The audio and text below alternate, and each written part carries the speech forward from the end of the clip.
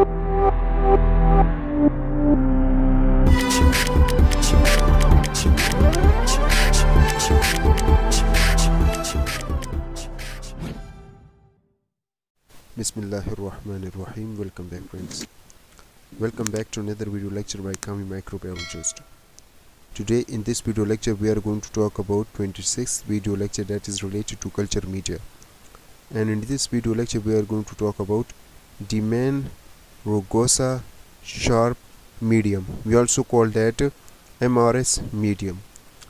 Now this media was first of all discovered by three scientists named Demand Rogosa and Sharpe in 1960. Actually, for the lactobacilli, they mostly use tomato and uh, some other products uh, uh, for the lactobacilli growth.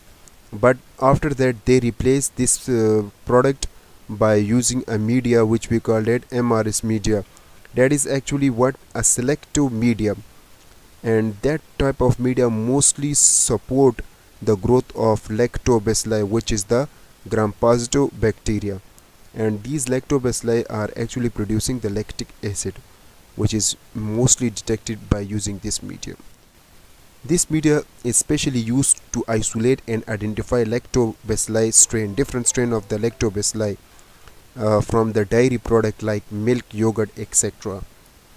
Let's talk about the composition of this media. This media contain meat extract 10 gram, peptone 10 gram, polysorbate 80 1 gram, sodium acetate 5 gram, magnesium sulfate 0.1 gram, dipotassium phosphate 2 gram, glucose 20 gram, distilled water 1 liter, agar 15 gram, yeast extract 5 gram, and manganese sulfate 0.05 gram.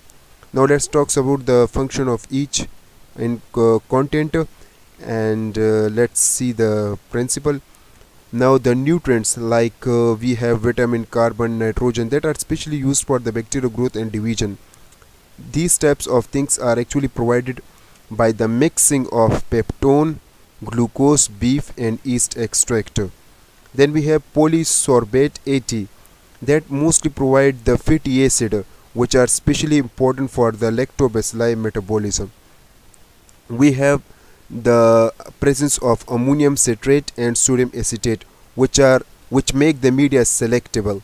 And due to this way only lactobacilli can grow and the rest of the bacteria and microorganisms die.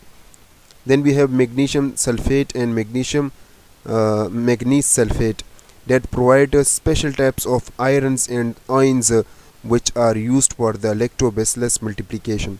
We have agar which are acting as a solidifying agent that provides stable surface for the bacteria due to which bacteria grow in the form of colony. Distilled water due to which we can mix all the ingredient.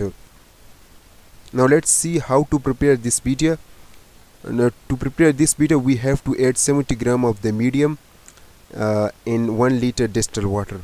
After uh, mixing it so we have to boil it to dissolve the medium completely uh, almost for 1 minute.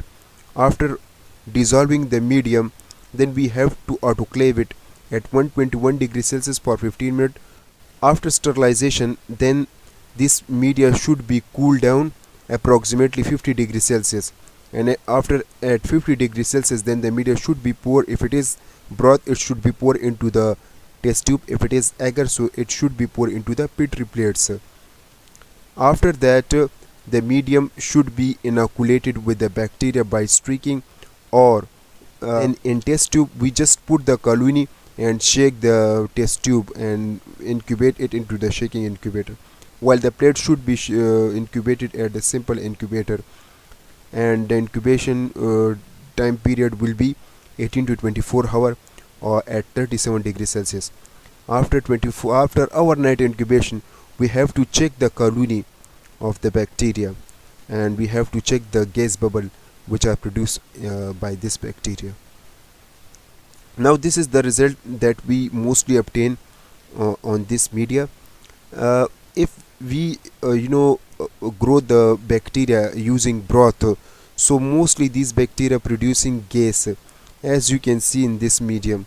White turbidity can also we get turbidity as well as we also get the bubble formation in the uh, test tube using the broth using MRS broth. Now if we are using the plate so it mostly produce large white colonies as you can see. Although it is very small colonies but if you see it live so you will found large colonies. So these all about the lactobacilli media or de Man Rogosa Sharpe medium or MRS medium. Thank you so much for watching